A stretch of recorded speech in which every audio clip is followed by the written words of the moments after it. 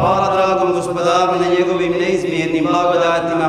Molimo ga njegovim najvećim imenom da spoznamo njegove blagodati u toku njihovog trajanja, da nas sačuva dana kada ćemo neko od njegovih blagodati, neko od njegovih davanja spoznati tek onda kada ih budemo izgubili.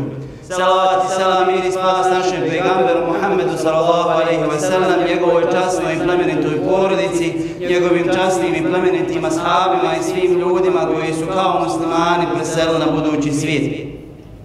Svjedočimo da nema drugog Boga osim jednog jedinog Allaha Đelešanu i svjedočimo da je Muhammed sallallahu alaihi wa sallam Boži rob i Boži poslanik. Molim uzvišenog gospodara da sa ovim svjedočanstvom živimo, radimo i preselimo na budući svijet. Poštovane sestre i poštovana braćo, jedne prilike dva alima su razgovarala o sretnom i spokojnom životu, dok su jeli jednu ukusnu tortu od meda. Pa je jedan od njih kazao koji je glavni sastojak ove torte zbog kojeg je ona ovako ukusna i slasna. Pa je ovaj kazao mi. Pa mu je ovaj ponovio. Zamislimo Kakva bi onda bila? Pa kaže to ne bi bila medna torta, nego bi bila pekmezna torta, ali bi dalje imala ukus, bila bi slasna. Kaže ovaj, tada i sve što se više, kaže, pridržava slaštičar recepta te medne torte, ta torta će biti ljepša i ukusnija. I onda su nastavili razgovor kazavši, isto tako recept za sretan i spokojan život je propisan. A propisao ga je uzvišeni gospodar. I svako onaj ko se bude pridržavao tog recepta, Allah Želešanu će ga počastiti da njegov život bude sretan i spokojan i da prihvata sve ono što se dešava u njegovom životu.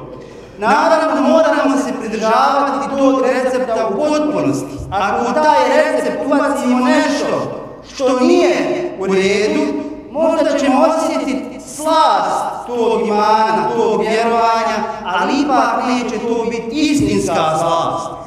Neki ljudi dođu samo ponekad u džamiju, ne obavljaju namaz. Osjete ponekad slast imana, ali to nije istinska slast kao, čovjek koji svakodnevno obavlja i badete uzvišenog gospodara.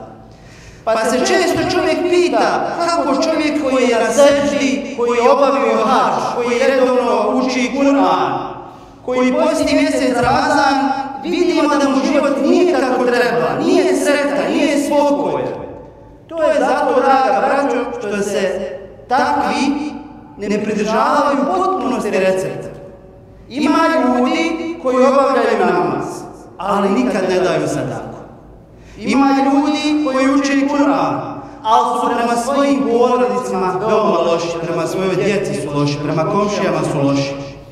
Ima ljudi koji su hađ obavili, ali nikad u zajedničkoj akciji džamata nisu učestvovali. Ima ljudi koji obavezno sa kapicom ulaze u džamiju, jer je to sunnet. A isto tako kada izađu iz džamije sasvim ravnodušno lažu. Ima ljudi koji obavezno desnom nogom ulaze u džamiju, što je sunnet, jedan od recepata sretnog i spokojnog života, ali isto tako desnom nogom ulaze u tuđe i kradu. Zato što nismo u potpunosti prihvatili taj recept koji je uzvišeni gospodar propisao, zato nismo sretni. Jedan turski pjesmik je fenomenalno kazao, namaz počinje kada izađemo iz džamije. Ramadan, Ramazan počinje onog momenta kad post završi.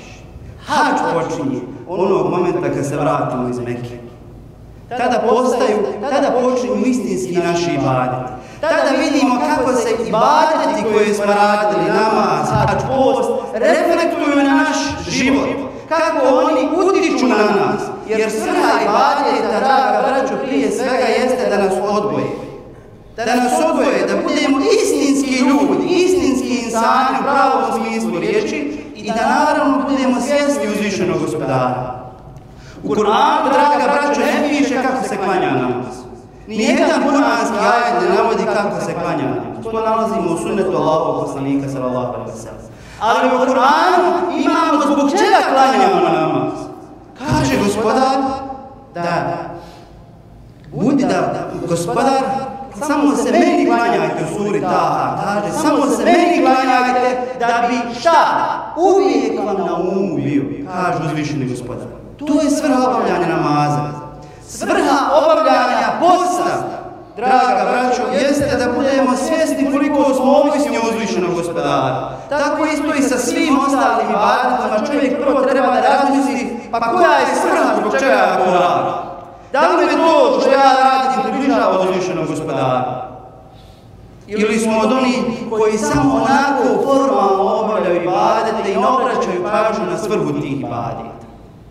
Ja molim uzvišenog gospodara da ne budemo od takvih i molim uzvišenog gospodara da ovaj recept za sretan i spokojan život u potpunosti shvatim.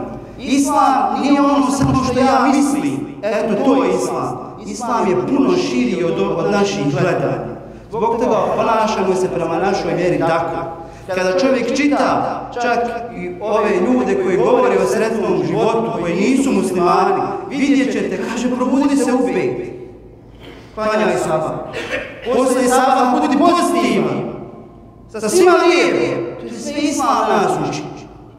Kada bi istinski shvatili našu vjeru, naše stanje bi se zaista popravilo. Molim uzvišenog gospodara da se smije.